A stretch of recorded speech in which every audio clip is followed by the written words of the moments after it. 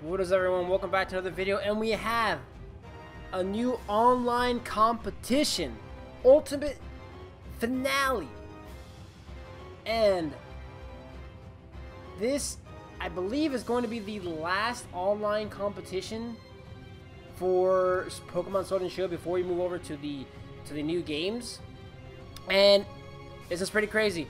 And it is going to be a double battle format so we are finishing off Sword and Shield with a double battle format.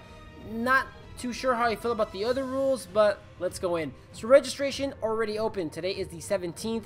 Registration started on the 13th, so make sure if you're going to participate in this, make sure that you sign up now because registrations always close the day before the competition starts. So right here, October 27th will be the last day because October 28th is when the competition will start and it will run through the 28th through the 30th format, double battle, uh, 15 battles per day. Same. It's all. This is all the same stuff, but this is the the part where um, it gets kind of crazy. Pokemon limits: team of three to six Pokemon from level one to level 100.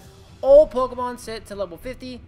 The ultimate finale is a no holds barred doubles competition that allows for you to use any Pokemon that is available in Pokemon Sword and Shield.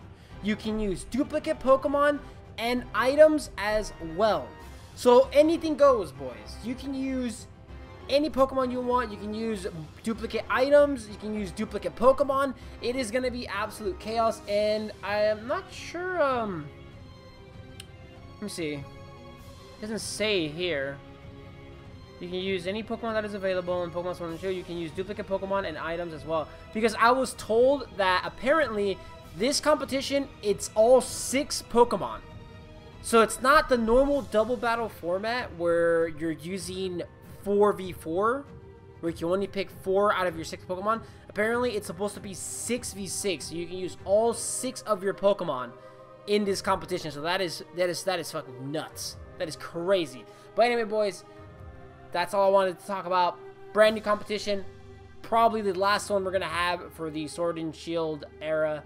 Uh, let me know down below how do you feel about this. Are you excited? Are you not? I'm just excited because I'm not the biggest fan of singles, so I'm happy that we're getting a double battle format.